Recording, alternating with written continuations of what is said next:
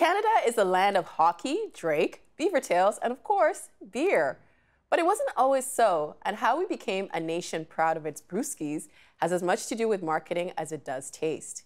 Joining us now to find out how we became a nation of beer drinkers, Matthew Bellamy, Associate Professor of History at Carleton University. Welcome, Matthew. I know. and for, for some reason, I'm very excited to have this conversation. um, so I wanted to go back a little bit in history. Uh, you write about a tragedy in the Walrus, um, and this tragedy happened Christmas Day, 1936. Mm -hmm. What happened? On that day, we had a guy by the name of James Sloan now, and he was driving home after a night of late night drinking uh, mm -hmm. with his friends. And we had just returned to a situation where we had public drinking in Ontario mm -hmm. after 18 years of this not being allowed. Mm. And so he's driving home, he's had too much to drink, and he's going back to the beaches in Toronto, and he's passing through the center of Toronto and comes to the intersection of Jarvis and Fleet Street. And he loses control of his car. And the car careens through the intersection and hits this elderly man, a 65 year old man, that had got up early in the morning of Christmas Day mm -hmm. um, to walk his dog. And the man and the dog die instantly. That's a tragedy in mm -hmm. extreme. But even more tragic about this day is there were 100 other accidents in Toronto that day. And of course, this mobilized wets and dries alike. The dries quickly come out, that is to say, those people that wanted prohibition. Exactly. Yep. Yeah. They wanted to return to the noble experiment times, the time that we outlawed booze in this country. Mm -hmm. And uh, so they come out and they say, this is horrible. It's because we've returned to this wet society that this accident happened. Mm -hmm. Indeed, a guy by the name of Dr. A.J. Irwin, who is the head of the Ontario Temperance Union, comes out in an op-ed piece mm -hmm. in the Globe Mail and says, you know, the results couldn't be more disastrous to be left all the inmates out of 999 Queen Street, which is actually the insane asylum mm -hmm. in mm-hmm. the province. And so the Globe Mail comes out and in an uh, article says this is the blackest Christmas Toronto has ever experienced. Mm -hmm. Of course, the Brewers have to get their acting gear at this mm -hmm. point. They want to protect the gains that they have made since Prohibition, and they realize that they're going to have to teach people to drink moderately. And so they get an educational campaign going that appears in the press. Now, at this time when this tragic accident happened, yeah. um, how often were motor accidents attributed to, um, I guess, alcohol in those days? Yeah, often, because you had these hundred uh, happening. And this is all in the post 1934 period when you have people going out publicly drinking, of mm -hmm. course, and the car is becoming om more omnipresent on our roads. You know, it's not yes the post year uh, post World War II environment where mm -hmm. cars are everywhere and there's two cars for every household, but cars are generally uh, you know running through our streets, mm -hmm. and so there's a lot of drinking and driving accidents, and so this is something that the brewers want to be uh, on top of.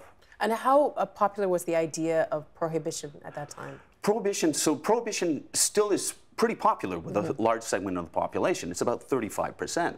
The thing is that we had this noble experiment that mm -hmm. happened on the backdrop of the First World War. Um, so we have Ontario going dry in 1916 and lasting until 1927. Mm -hmm. The thing is now with prohibition, it lasts longer in some places than in other places because the provinces have the jurisdiction over regulating the retail sale and importation of intoxicating beverages. And so you have PEI, for instance, going dry from 1901 to 1948. Right. Quebec, God bless them, put up with a noble experiment for eight months, said, we're out. so. Not working for us. right. um, what, what, what values do you think they were trying to impart at that time? Yeah, the prohibitionists? Mm -hmm. uh, absolutely. Well, the prohibitionists have been around for a long time in Canadian history. Mm -hmm. You know, they, it goes all the way back to the 1820s now. And they really don't gather steam, though. Mm -hmm. They can't win over a majority of the population because what you have is a wedge issue here. Mm-hmm. It divides the population kind of like abortion in Canada today, mm-hmm. right? 50 50 split. And so politicians don't want to touch it they realize we're going to make as many friends as we make enemies on this one. And so Sir John A. Macdonald or uh, uh, William Wilfrid Laurier mm -hmm. um, don't want to touch this one. Mm -hmm. And so um, it, it kind of you know, gains steam mm -hmm. as we get towards this, the First World War.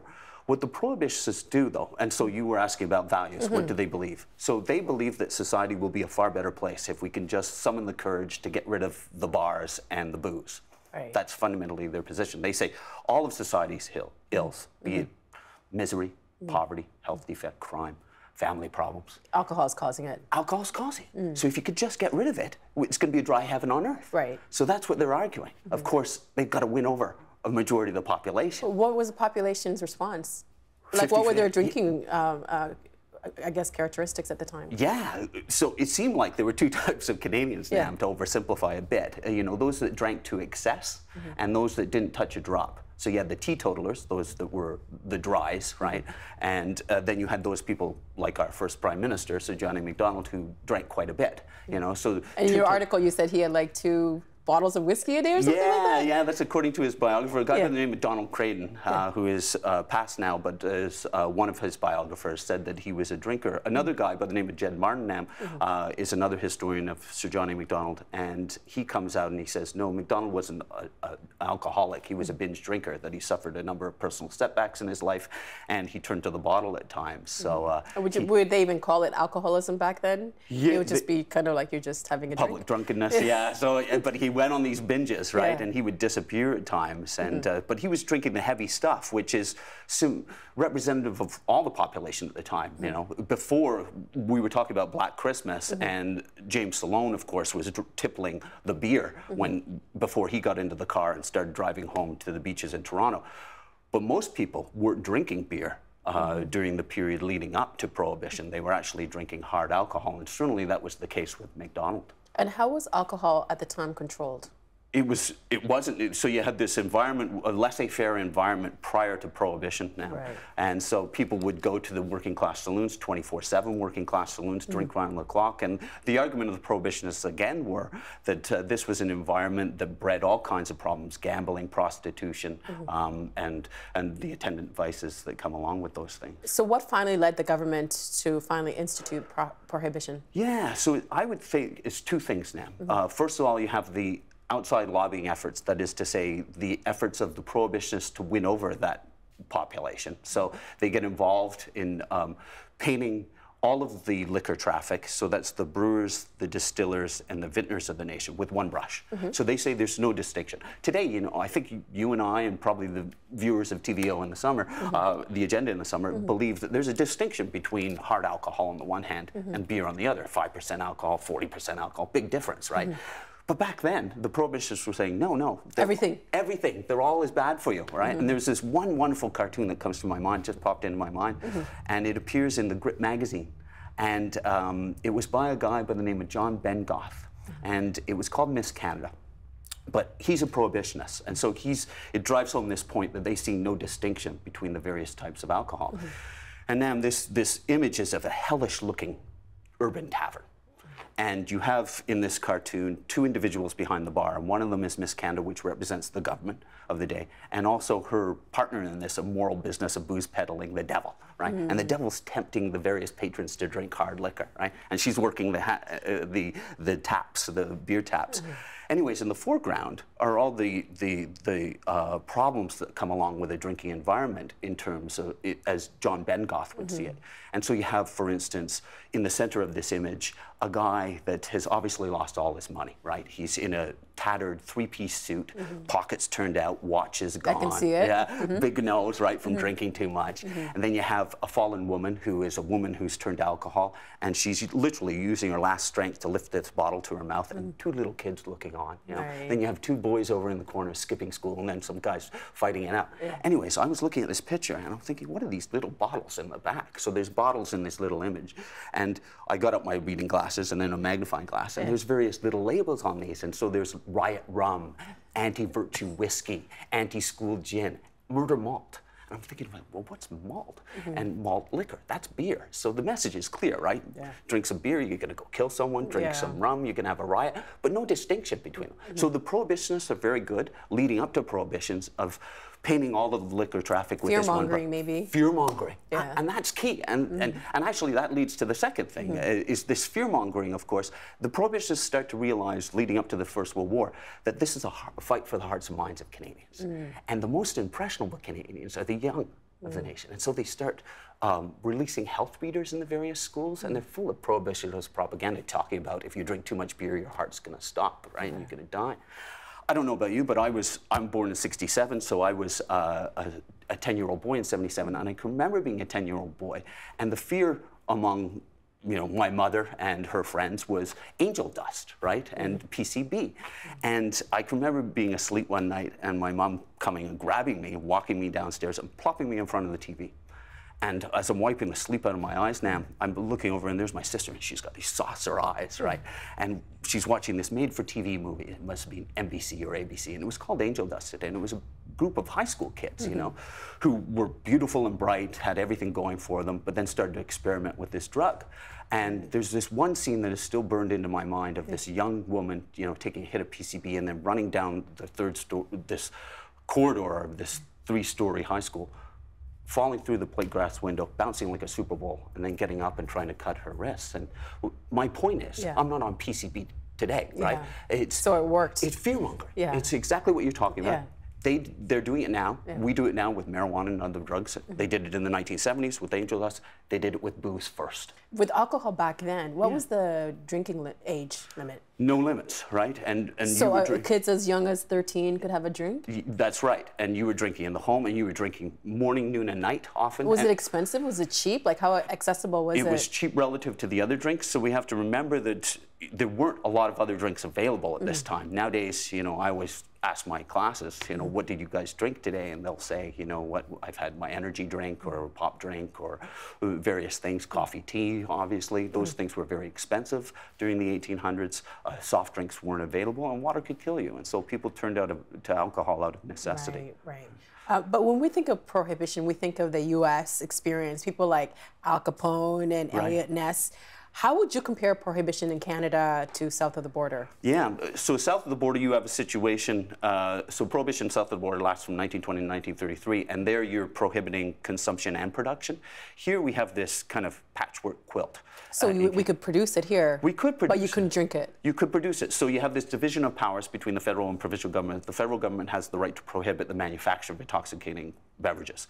The provinces, as I said, uh, has this power to uh, prohibit its retail sale. And so the federal government only gets involved in the prohibition of manufacturing of alcohol for a very short period now, and that's at the tail end of the First World War. The rest of the time is the provinces and their prohibition. So you have a situation where our brewers could produce it, they just couldn't sell it in the province. Now, some brewers do produce it. Mm-hmm. Labatt's do it very well, of course, Mm. at uh, uh, actually bootlegging to the United States. So. Wow. I think you already mentioned uh, Edmund Burke, Yes. but uh, what was significant about him? Edmund Burke, so uh, he is significant, you're absolutely right, um, because he takes over Labatt's corporation, in a way. So you have this situation, so prohibition comes into existence, like we were saying, on the backdrop of the, the First World War. And so you have this dry situation. As you might imagine, this is going to hurt the brewers and the vintners and the distillers of the nation. And in fact, half of our brewers go out of business during Prohibition. You start with about 150 nationally, and you go down to about 70 at the end of Prohibition Does that affect the economy at all? Or? tremendously, and that will be one of the arguments, of course, of those wets in the back uh, after prohibition uh, has been put in place. They're going to start making the argument. You know what? It would be far better for the economy if we legalized sale and had the government regulating its distribution so they could tax it and like. But Burke, as you were asking, uh, he comes along and he actually takes over Labatt's corporation. He was a hard-nosed Irishman, cut his teeth uh, selling tobacco and whiskey south of the border, right? Comes up to Canada uh, in the early 1900s and works his way up the rung of the corporate ladder. And by the time uh, the First World War um, starts, he's the general manager uh, prohibition comes into effect in Ontario, like we were saying, 1916. Labatt survives for a little while by making this near beer stuff, kind of non-alcoholic beer that no one likes, right? Yeah. And so they survive for a little while, and then they teeter, and it looks like they're going to go over it. And there's this actually this hastily arranged board of directors meeting when all the family members, it's still a family-owned corporation in 1921, prohibition's still going, mm-hmm. and they have this meeting, and all the family members are there, and they say, and I'm quoting the minutes here, unless something very unforeseen occurs, we're going to have to close down the business a year hence. Burke's watching all this, right? He's the only f- non-family member there, and he says, "Whoa, whoa, whoa! Wait a second here. You know, I've got an idea. Why don't you guys take a vacation? Don't ask any questions, right? Don't hold any more uh, board of directors meetings. Let me run things. Give me And at 10% that point, they were so desperate, they were like, sure. Absolutely, Yeah. exactly. That's right. And so he takes over, and of course he turns them into a bootlegger. Mm-hmm. You know, he buys up a, a fleet of fishing ships, if you can imagine, down at the Windsor docks. Continues to brew full-strength beer, buys Corby whiskey from the distillery down the road in Belleville, and starts shipping it over to the very people that you were talking about, Al Capone and the Purple Gang of Detroit. And it becomes a great success. Labatt's. It goes from a second-tier brewer to a first-tier brewer in the nation. Canadian history never ceases to amaze me. Um, I want to show you a clip, and this is from Molson Canadian, and the ad is called The Canadian. Yeah, yeah, yeah. Let's take a look. When you think about Canadians, you might ask yourself, why are we the way we are? Well, the answer is laying right under our feet, literally. Fact is, it's this land that shapes us. There's a reason why we run off the dock instead of tippy toe in. It's because that water is frozen six months a year. And that frozen water brought on a sport that we can call our own. This land is unlike any other. We have more square feet of awesomeness per person than any other nation on Earth. It's why we flock towards lakes, mountains, forests, rivers, and streams. We know we have the best backyard in the world, and we get out there every chance we get. Because it's not just the great outdoors we're chasing, it's freedom.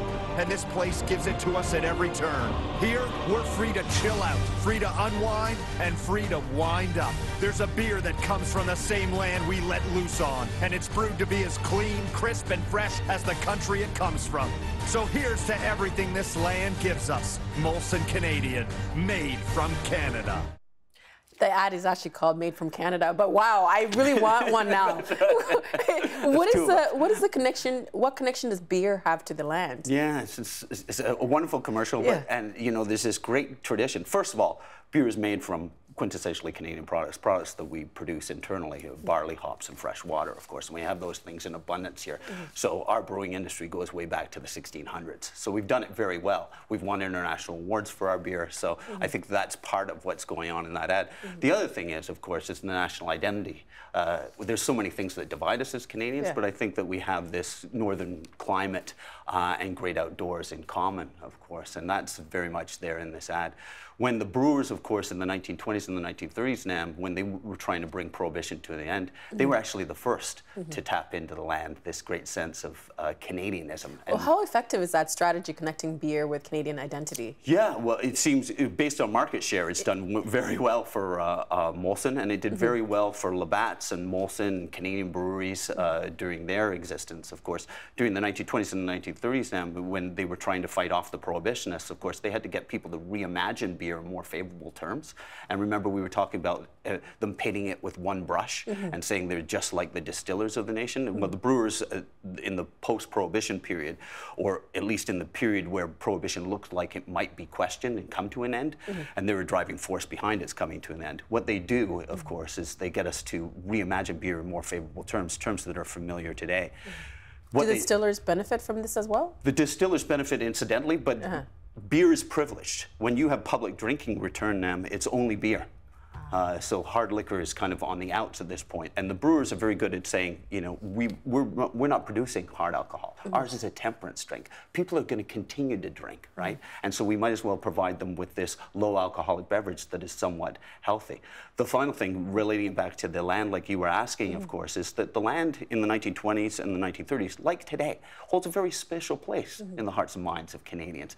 But you know, I was asking various people on my way in here today what they're doing for the holidays, and many people said they're going up to their cottages, right, getting away from the city. Mm-hmm. This starts in the 1920s and the 1930s, people getting away from Sin City. That's where all the danger occurs, labor ah. unrest, right? So they don't want their product associated with the city.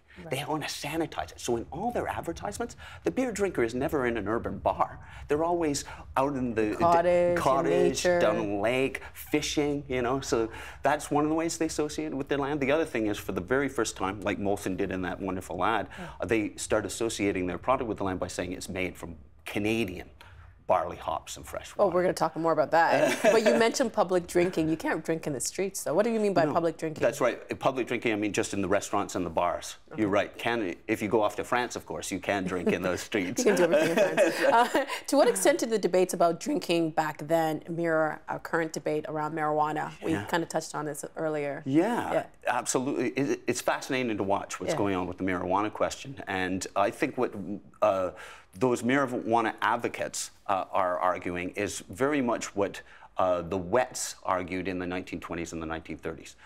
The argument is with marijuana today and booze back then, people are going to continue to use these dangerous substances. People are going to continue to drink. We proved that during Prohibition. People didn't stop drinking. They went into the blind pigs. Craig Heron, a wonderful social historian from York University, has written at length about this in a great book called Booze.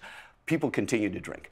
Um, so the brewers are saying, we might as well, if people are going to drink, give them something that is government regulated. So we have this watchdog, right, mm-hmm. and is mild. And that's the same argument with marijuana people are smoking the marijuana, they're mm-hmm. saying. We might as well bring this into the open, get rid of the organized crime around it, tax it so we benefit economically, mm-hmm. right? And have the, the government watch over it so we get a somewhat safer supply.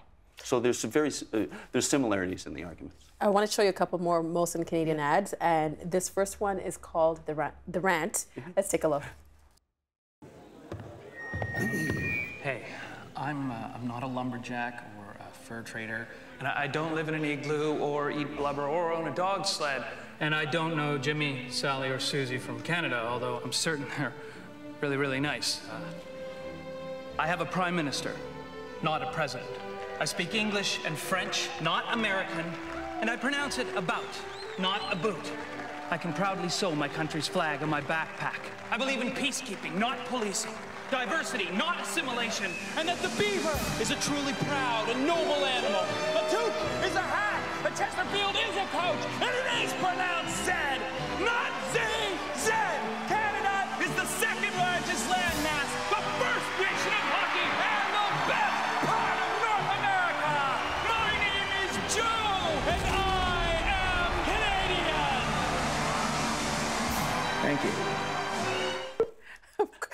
course, he said thank you at the end. Um, what was that ad tapping into? I think it taps into this latent sense of national pride of the period. The ad comes out first in 2000, of course, and um, it speaks to this continuing ability on, on, the part of the brewers and their ad people um, to tap into the underlying cultural logic of the age. Mm -hmm.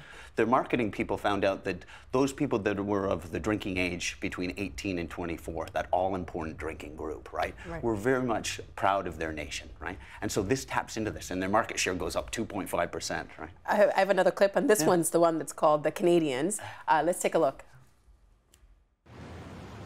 Hey, erinnerst du dich an den Typen von gestern, wie er mit der Jacke auf... Gib's zu, er hatte seine Momente, ja, aber... So, he says, let's just scale the wall. It's not that high. he was wicked, mate. She sang badly, but everyone loved her. They couldn't stop cheering for her. Going on. the next thing I know, the children will beg a line to it. テーブルの上に乗ってね、なんか今まで見たことない、今まで見たことない、すっごいなんかすっごい動きをするんだ。だってすっごい。 And the best part is, she wasn't even from Dublin. Where was she from? From Canada, chum. He was Canadian. Canada, Canadian. Canadian. Canadian. Best night of my life in Kotsaka.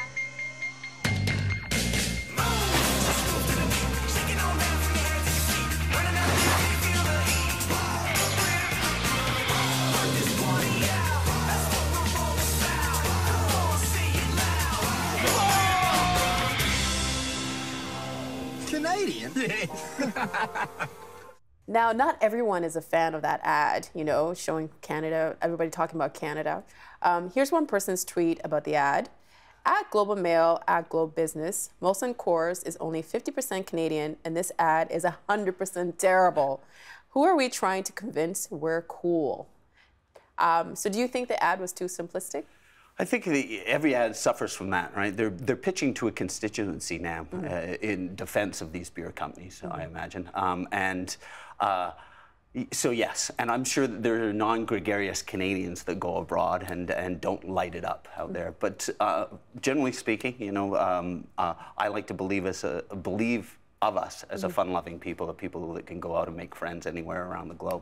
But there's no denying uh, that uh, um, that there are people excluded in this ad, and it doesn't speak to the general population at large. Yeah, and I think it's probably to the younger audience, perhaps the younger beer drinker. Absolutely, yeah, yeah. But that again, that's the the group that they want to hook, mm -hmm. uh, mm-hmm. the people between 18 ah, and 25. So there'll be long-term customers. Right. Right. Yeah. I think that that ad is successful uh, for the same reasons that the rant is. Um, at the tail end of the rant, as you pointed out, you know, Joe says, uh, thank you, you know, mm-hmm. and kind of uh, hunches over and walks away humbly. And this one's very humble in a different sense. You know, you don't see Canadians in this ad, I notice. And so it's other people celebrating us. Mm -hmm. You know, I think perhaps our youth, you know, consider themselves great partiers and very gregarious. Mm -hmm. uh, I certainly do. Uh, but, uh, you know, it's, I think what this ad does uh, mm-hmm. so well is it has other people say it. Mm not us as Canadians pumping ourselves up, but other people. But am I wrong to see that it's it seems like beer is marketed to men, not women? Absolutely now. Yeah. Um, what do you make of the irony that Molson and Labatt's aren't even fully Canadian anymore? They're not owned by Canadians. Yeah, uh, uh, you, you're right. Um, uh, Labatt's was taken over in 1995. Um, I don't think, I think they will continue, Molson will continue, to, of course, to play up the Canadianness Mm-hmm. of their product. Uh, decisions, corporate decisions are made uh, down in Col- Golden, Colorado, of course. It's Molson Coors, Mm-hmm. uh, but the head office is down there. Uh, Labatt's uh, has some wonderful products, but I think that their share of the national market's diminishing as well, for better or for worse, um, because of these microbrewers coming along. And I think that these large international corporations that have come in, of course, are um, promoting their flagship beers. So whereas Labatt's used to have their flagship beer Blue and 50, um, uh, which is an ale, now what they're promoting is their flagship ale is uh, Bud and uh, Budweiser and Bud Light. And it's no accident that uh, Molson's and Labatt's products aren't the best selling in Canada anymore. It's actually these international brands. Of course, picking up the slack of these wonderful microbrewers that have come along. Very interesting. Um, lots of countries have a reputation of being uh, big beer drinkers. Ireland, Germany, the Czech Republic. What makes Canada stick out among the bevy of beer drinkers? That's a great question. Yeah. Yeah, I think it's the fact that we uh, have this culture of moderation. You know, you, the nations that you point to. You know, if you look at the list of beer drinking nations on a per capita basis, all those nations drink more than us, and so we're not the greatest beer drinkers. You know, mm-hmm. there's other people that consume more, but we've struggled with the beer question. You know, we make it internally. We do it very well. We've won awards for our beer, so that's quintessentially Canadian, right? Mm-hmm. But it, it's the way that we drink our beer that makes it quintessentially Canadian. We do it in moderation. Generally speaking, we do it responsibly, and at the end of the day, mm. So maybe that message worked during Prohibition. exactly. Matthew, it's been a pleasure having you on the show. I've learned so much about beer that I had no idea. Thank you so much. Oh, it's my pleasure. Thanks for having me. Help TVO create a better world through the power of learning. Visit TVO.org and make a tax deductible donation today.